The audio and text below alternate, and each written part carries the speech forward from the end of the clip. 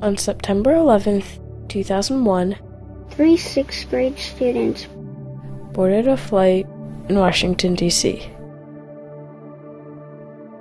These bright elementary school students, Asia Cottom, Rodney Dickens, and Bernard Brown, were excited to be on board and headed to an ocean science camp thousands of miles away in the California Channel Islands.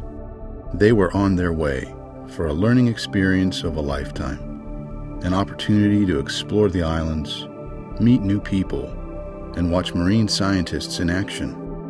But their journey ended in tragedy.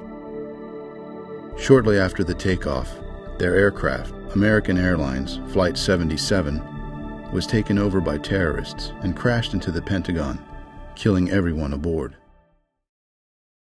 Three years later, Ocean for Life was born, inspired by the memory of those three young lives taken on September 11th. This ocean education program strives to promote cultural understanding and communication through a simple but powerful message. The ocean connects us all. Ocean for Life brings together youth from around the globe for shared learning experiences in our national marine sanctuaries, helping them find common ground and gain new respect for other cultures. I was surprised how open everyone was to learn and understand each other's cultures. I've learned so much about different cultures, different languages, different religions, and now I have friends from all over the world. It surprised me how many similarities we share.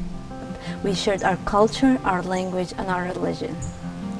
We are one world, one ocean. At home, Ocean for Life graduates share their experiences with others, helping create the foundation for a safer, more tolerant world.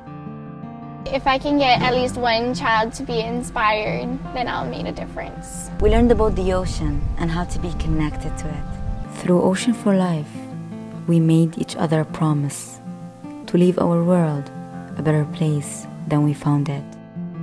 As we put aside our differences and work together to realize a better future, we learn another valuable lesson. When we take care of the ocean, we take care of each other.